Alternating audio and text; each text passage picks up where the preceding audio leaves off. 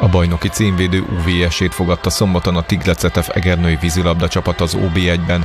Fantasztikusan kezdett az Egri együttes, előbb Parks, majd Kékesi talált be az újpesti kapuba, hogy aztán Cigány Dóra duplázza meg az Egri előnyt. Az első negyed után 4 0 vezetett dr. Sike József együttese. A fővárosiak a második negyedben már jobban játszottak, zsinórban három gólt lőve fölzárkóztak, de az egygólos előnyét egészen a szünetig megőrizte az Eger, ekkor 6-5 volt az állás. A harmadik negyedben kimaradtak az egri helyzetek, a vendégek viszont fordítani tudtak. Utoljára 7-7-nél volt egyelő az állás, de hajdúkat a duplájának is köszönhetően ellépett az Újpest. A záró negyedben hazai résztől Cigány és Szilágyi tudta bevenni a vendégkaput, a fővárosiak viszont többször is betaláltak, és 12-9-re győztek. Bencúr Márton szerint csapatának szerencséje is volt, ezért tudott győzni, de kiemelte, rossz kezdés után javítani tudtak, főleg a második félidő védekezése volt magas szintű.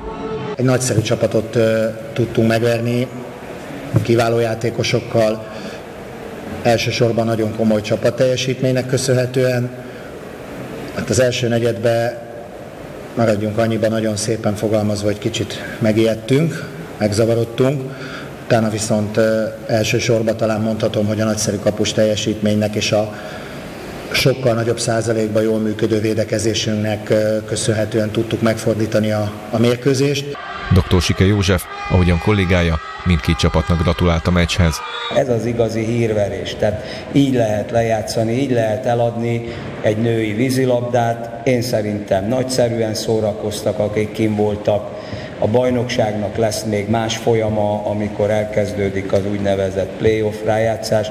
Itt pont annyit tudtunk most lemérni, hosszabb a Újpest ö, ö, cseresora, sok játékos nagyon sok ideig bent tud lenni, nálunk ez kevésbé működik még, de fejlődésben vannak a játékosok is. Az Eger a bajnokságban hat forduló után a negyedik helyen áll.